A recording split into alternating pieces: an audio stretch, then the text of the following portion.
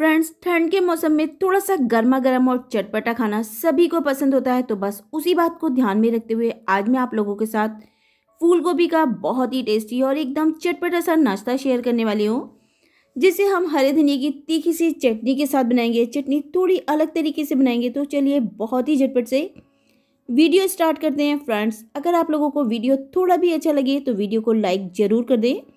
यही video Facebook पर देख रहे हैं तो फेसबुक पेज को लाइक कर दें। तो चलिए बहुत ही झटपट से और बहुत ही इंटरेस्टिंग सी वीडियो स्टार्ट करते हैं। नमस्कार दोस्तों मैं कल्पना माहेश्वरी अपने चैनल माहेश्वरी रसोई में आप सभी का स्वागत करती हूँ।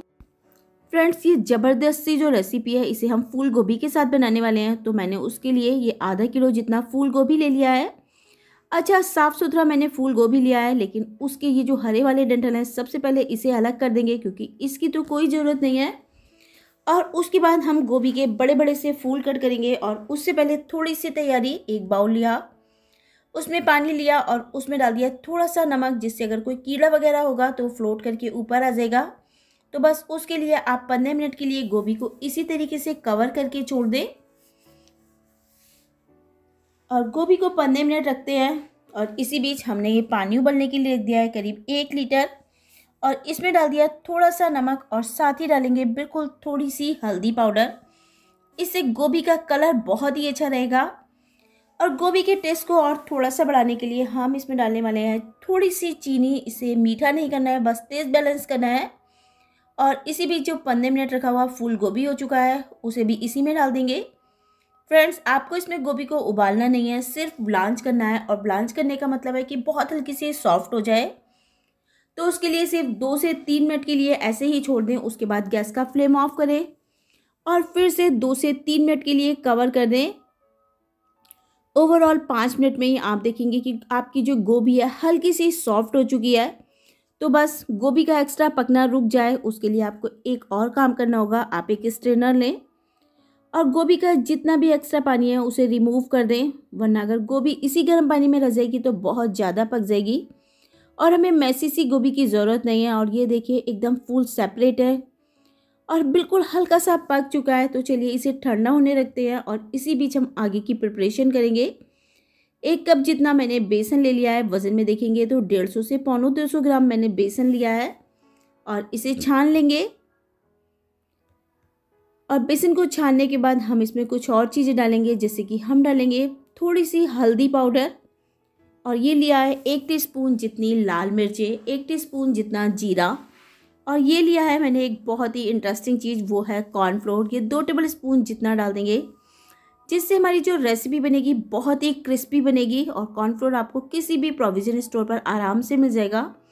और उसके बाद हम डालेंगे हरी मिर्च, अदरक और लहसुन का पेस्ट और अगर आप लहसुन नहीं खाते हैं तो स्किप कर दीजिए तीन चार हरी मिर्चें, तीन चार कलियाँ लहसुन की ले ली थी, आधा इंच अदरक का टुकड़ा और ये गया टेस्ट के हिसाब से नमक और ये डाल दिया लास्ट में खूब सारा कटा हुआ हरा धनिया। और अब डालेंगे हम इसमें प्याज और फ्रेंड्स अगर प्याज भी नहीं खाते हैं तो उसे भी स्किप कर सकते हैं। और उसके बाद थोड़ा थोड़ा पानी डालते हुए हम इसका बैटर तैयार करेंगे। फ्रेंड्स बैटर में आप पानी एक साथ ना डालें, बेसन है, अगर आपने एक साथ पानी डाल दिया तो लम्स बन जाएँगे। थोड़ा थोड़ा रख पानी डालें। और आपको इसका जो बैटर बनाना है, वो बहुत ज़्यादा पतला सा नहीं बनाना है, थोड़ा आपको गाढ़ा सा बैटर तैयार करना है। अगर बैटर रनी हो गया तो बाद में प्रॉब्लम हो जाएगी। बस स्टार्टिंग में इस बात का भी ध्यान रखें और बस अच्छे से हम इसे एकदम स्मूथ बनाकर तैयार कर लेंगे। और ये देखिए बैटर एकदम परफेक्ट बनकर तैयार हो चुका है। तो कवर करके इसे पंद्रह मिनट के लिए एक साइड से रख देते हैं। और इसी बीच बनाएँगे हम एक बढ़िया सी चटनी, उसके लिए हरा धनिया लिया। और चटनी को तीखा करने के लिए हम इसमें डालेंगे हरी वाली मिर्चें, अगर लाल मिर्चें डाल देंगे। तो चटनी का कलर उतना बढ़िया नहीं रहता है और ये गया टेस्ट के हिसाब से नमक। टेस्ट के हिसाब से ही हम अमचूर पाउडर डाल देंगे। मैंने करीब एक टीस्पून जितना अमचूर पाउडर लिया है, आप चाहें तो इसकी जगह हींग का अचार डाल सकते हैं। और ये गई मूंगफली के दाने, इससे आपको दो फ़ायदे होंगे। एक तो कलर अच्छा आएगा और दूसरी, आपकी चटनी पानी नहीं छोड़ेगी। तो बस पानी की बात चल रही है तो थोड़ा सा पानी डाल दिया और जार का ढक्कन लगाकर हमने चटनी को पीस लिया। देखिए, कितना बढ़िया और खूबसूरत सा कलर आया है। और इसी बीच जो हमारा बैटर रखा था, उसे रखे हुए अब 10 से 15 मिनट हो चुके हैं, यानी बेसन रेस्ट कर चुका है। तो बस एक बार मिक्स कर लेंगे, थोड़ा ज़्यादा ही गाढ़ा लग रहा है तो थोड़ा सा मैंने ये पानी डाल दिया और बस उसके बाद मिक्स किया।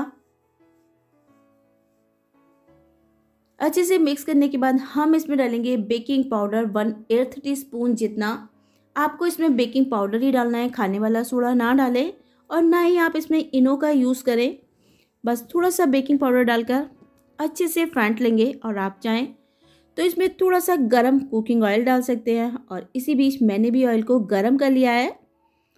तो बस एक एक करके हम इस तरीके से ये जो फूल अच्छे ठंडे हो चुके हैं वो बिल्कुल बढ़िया से हम जो हमने बेसन तैयार किया था उसमें कोट करेंगे और इस गर्मा गर्म ऑयल में डाल देंगे। फ्रेंड्स, इसके लिए आपको जो ऑयल गर्म करना है वो बहुत ज़्यादा गर्म नहीं करना है, ना बहुत ही ज़्यादा ठंडा रखना है मीडियम गर्म ऑयल आपको करना है। और बिल्कुल अच्छे से इसे कोट करेंगे। बस मैंने इसीलिए कहा था कि आप जो बैटर रखें, थोड़ा सा थिक रखें। इस जगह आपने जो बैटर रखा है वो ज़्यादा ही पतला कर लिया तो वो अच्छे से कोट नहीं हो पाएगा और आपकी जो पकौड़े बनेंगे उतने क्रिस्पी नहीं बनेंगे। तो बस, इस तरीके से मैंने एक एक करके ये पकौड़े इसमें डाल दिए हैं। तो और उलट पलट कर हम इसे करीब चार से पाँच मिनट तक सेकेंगे। गोभी हमारी थोड़ी सी पकी हुई है, बेसन को पकने में ज़्यादा समय नहीं लगता। और अभी हमें इन्हें पूरा पकाना भी नहीं है तो बस चार से पाँच मिनट बाद जब इस पर अच्छा सा गोल्डन कलर आ जाए, आप इसे निकाल लीजिए। तो बस, एक नैपकिन लिया और उस पर हम इस तरीके से पकौड़े निकाल लेंगे। फ्रेंड्स, ये पकौड़े इस समय भी खाने में बहुत ही टेस्टी हैं, लेकिन हम बना रहे हैं ज़बरदस्त वाले क्रिस्पी पकौड़े तो उसके लिए आपको एक और प्रोसेस करना होगा। इसे हल्का सा ठंडा कर लें और उसके बाद आप एक एक पकौड़ा लेते जाएँ और इस तरीके से एक नैपकिन ले हथेली के बीच में हल्का सा प्रेस करें, जिससे ये थोड़ा सा चपटा सा हो जाएगा, बिल्कुल इस तरीके का। और इसके बाद हम इसे दोबारा से सेकेंगे। बस पकौड़ा लिया, हल्का सा प्रेस किया।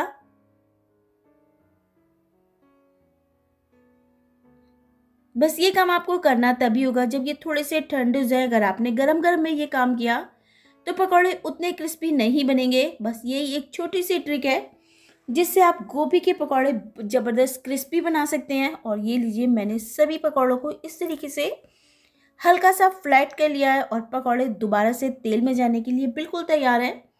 और अब तेल को कर लिया हमने एकदम हाई फ्लेम पर, क्योंकि पकौड़े तो ऑलरेडी सीखे हुए हैं, बस इन्हें करना है आप क्रिस्पी और हाई फ्लेम पर सिर्फ़ आप इसे दो से ढाई मिनट तक सेकेंगे तो आपको खुद ही पता चल जाएगा कि पकौड़े बहुत ही क्रिस्पी तैयार हो रहे हैं। इन पकौड़ों में आपको बिल्कुल अलग तरीके का टेस्ट मिलने वाला है, बहुत ही ज़बरदस्त लगते हैं, आप चाहे तो इन्हें दही के साथ भी खाइए, तब भी बढ़िया टेस्ट करेंगे। सॉस के साथ भी बहुत बढ़िया लगते हैं और वरना बेस्ट कॉम्बिनेशन तो अपनी हरे धनिया की चटनी है ही। और ये लीजिए प्लेटिंग की बारी आ गई। ये देखिए, हरे धनिया की चटनी साथ में थोड़ा सा दही रख दिया है और ये देखिए, ज़बरदस्त पकौड़े। बनाना जितना आसान है टाइम उतना ही कम लगता है और टेस्ट आपको बहुत ही अमेजिंग मिलने वाला है। ये थोड़ा सा चाट मसाला कर दिया। और थोड़ी सी करेंगे हम हरे धनिया की पत्ती से गार्निशिंग जिससे देखने में भी बढ़िया लगेगा। और ये लीजिए हमारे गर्मा गर्म चटपटे और ज़बरदस्त कुछ नए तरीके से बने हुए पकौड़े बनकर तैयार हो गए हैं। उम्मीद है रेसिपी ज़रूर पसंद आएगी, क्योंकि सर्दियों का मौसम, गोभी का मौसम और ये गर्मा गर्म और चटपटे गोभी के पकौड़े ज़रूर पसंद आएँगे। वीडियो अच्छा लगे तो प्लीज़ वीडियो को लाइक ज़रूर कर दें फ्रेंड फैमिली में शेयर कर दें। रेसिपी पसंद आई होगी। वीडियो को लाइक करें। फ्रेंड फैमिली में शेयर करें चैनल पर नए मेहमान है चैनल को सब्सक्राइब कर और साथ ही बेल आइकन को प्रेस करना बिल्कुल भी ना भूलें। Thank you